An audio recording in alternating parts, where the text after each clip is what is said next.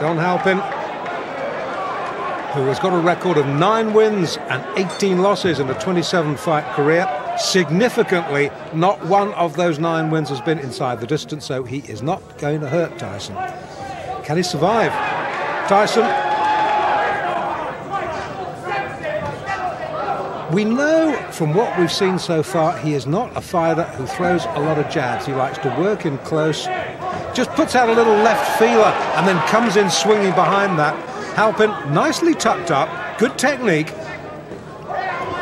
These, these body shots, Tyson can use this experience to just try out a couple of new moves because there's a big difference between the gym and the ring, as any pro will tell you.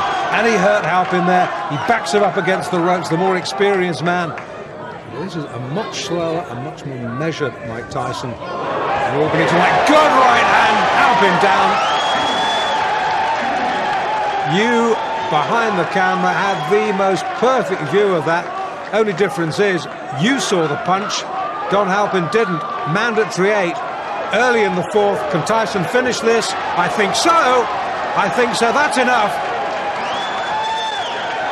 Now that last right-hander, that was questionable. Tyson celebrated.